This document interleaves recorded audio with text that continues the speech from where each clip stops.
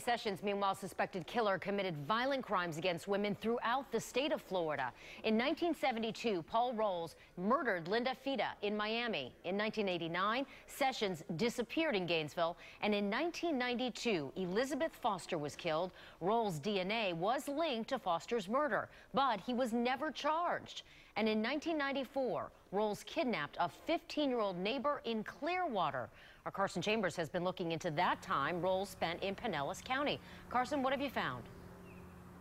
Well, we dug up these reports here at the courthouse. They say that Paul Rowles moved to Pinellas County in 1985 after he was paroled for that Miami murder. He bounced around Pinellas County and also North Florida, but his last victim, as far as they can tell, was in Clearwater, and she was lucky to get away. How old was the victim? 15 years old. Paul Rowles is the prime suspect in the Tiffany Sessions disappearance case. But the sex predator and convicted murderer was also convicted of kidnapping and raping a Pinellas County teen who was his neighbor. Apparently, she was sleeping in her bed. When she woke up, he was over the top of her bed and basically forced her and took her with her. He bound and gagged her. And he had a knife? Correct. 1994 reports say Rowles was moving into this Clearwater apartment complex on Auburn Street to get back together with his ex-wife when he kidnapped the teen, raped her, and threatened to kill her.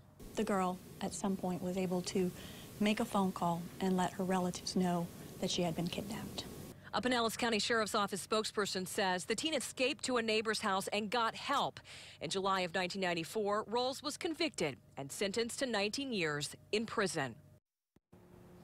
And while Rowles was serving those 19 years in prison, DNA linked him to another Gainesville college student's murder. Beth Foster's body was found, but he was never prosecuted for that murder. Live in Pinellas County, I'm Carson Chambers, ABC Action News.